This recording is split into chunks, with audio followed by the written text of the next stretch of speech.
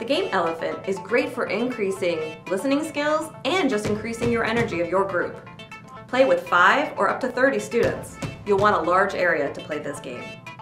Stay tuned to see how to play this game. Okay, we're gonna play a game called Elephant. This is a high energy and focus game, and it's so fun to do before you do a performance or even just before class to get your energy going with your class.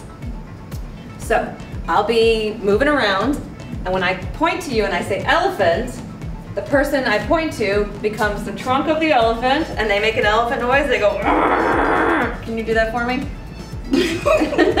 and the two people flanking her will become her ears. Elephant ears. That's great. Okay, that's the elephant. When I say, when I point to you and say palm tree, you're gonna go up like this, and you will be the palm fronds on the sides, on her sides, and together, all three of you are gonna go whoosh, whoosh, whoosh, whoosh. So we've got elephant, uh, palm tree, whoosh, whoosh. Good.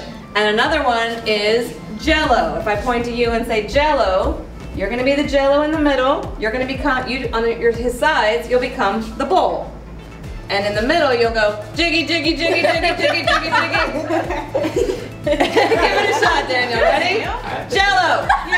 Yes. Jiggy, jiggy. Jiggy, jiggy, jiggy, jiggy. Good job. A game of focus. So if I call you and you don't do it fast enough for me, you're out. Okay? Or if you do the wrong instruction. We got it? Mm-hmm. Okay. Let's give it a shot. Palm tree. Whoosh, whoosh, whoosh.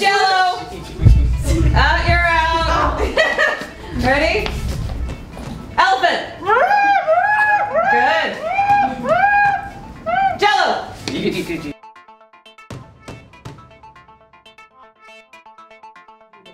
To mix it up, try these variations.